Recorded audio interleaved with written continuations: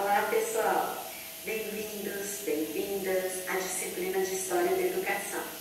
Eu me chamo Cátia Franciele Corrêa Borges, sou licenciada em História, mestre em Desenvolvimento Social pela Unimontes e doutora em História pela Universidade Federal de Juiz de Fora e serei a professora formadora de vocês.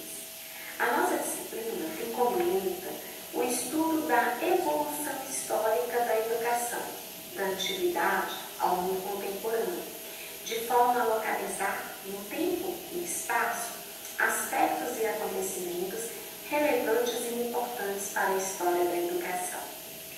Também temos como objetivo contribuir para que ao final da disciplina vocês possam compreender aspectos históricos que contribuíram para a formação do sistema educacional brasileiro.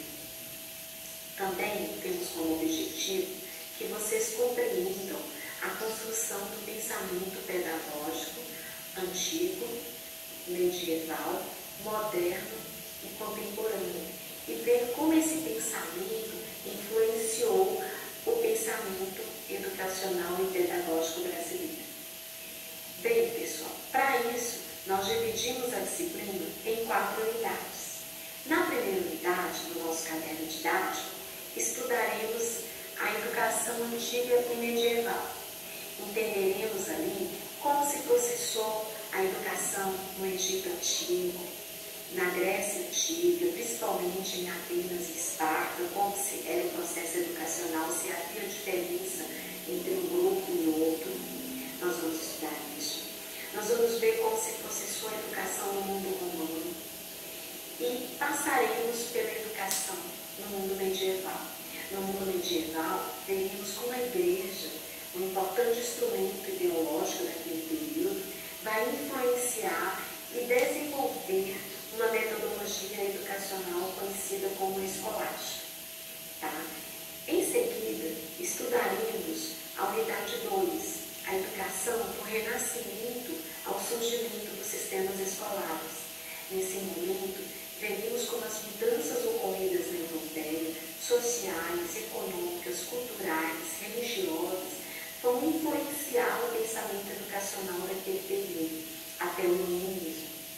Inclusive, vamos ver eh, como a educação vai ser influenciada pelas artes renascentistas, pelas descobertas científicas, mas também vamos entender como a reforma vai contribuir para a discussão de uma educação pautada na educação masculina e feminina. Tá? Porque nós vamos ver lá que o Lutero defendia educação para todos, porque todos precisariam ler a Bíblia. Então nós vamos ver isso. Também vamos entender como se processou a educação na contra-reforma.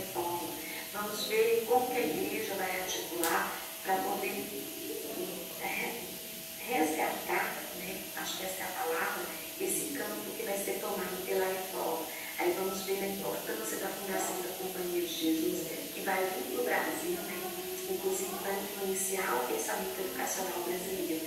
Aí nesse momento entraremos na unidade 3, quando a gente vai lá que no Brasil colônia, ao Império, vão influenciar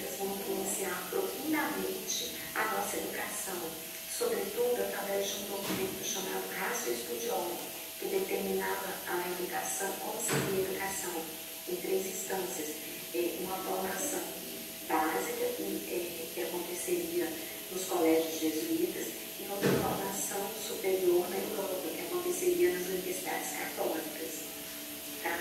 Nós vamos ver como a educação no Brasil, nesse período, ela se forma separando os de baixo e os do alto. Ou seja, os de baixo, que seriam os indígenas, os, os pobres, eles seriam uma educação catequética, uma educação fundamentada na catequese. É, já os do alto, que seriam os homens bons e os filhos dessa elite que estava explorando, seriam uma formação humanística. Então, nós vamos ver essa influência.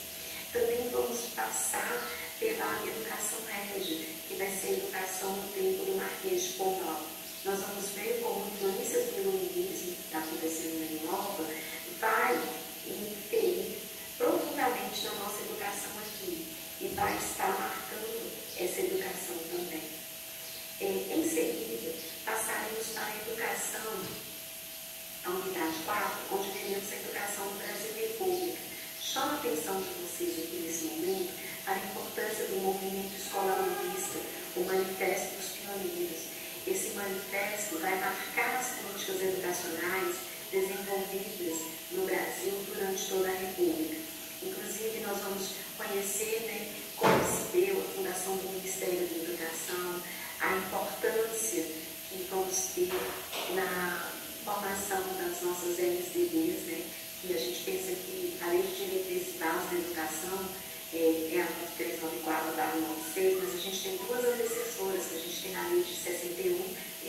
71.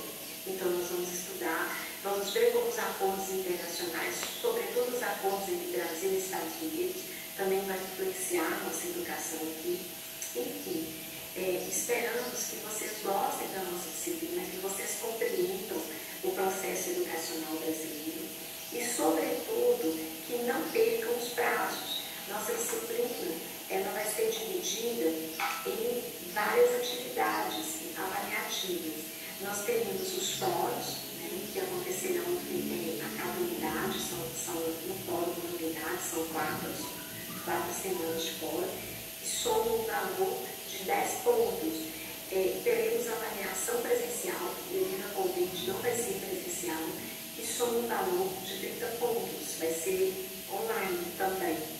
E temos a avaliação online que vale 20 pontos. Então, são duas avaliações, totalizamos um valor de 50 pontos quatro fóruns, totalizando um valor de 10 pontos, é, um seminário temático, cujas instruções já estão no virtual, é, vocês podem acessar, totalizando um valor de 20 pontos, e quatro atividades avaliativas, que totalizaram o, é, o valor de 10 pontos, e a autoavaliação.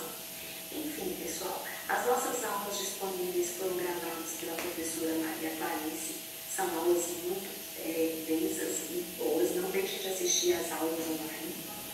Também temos é, o caderno didático que foi produzido pela Unimus, que está disponível para vocês lá na, no virtual.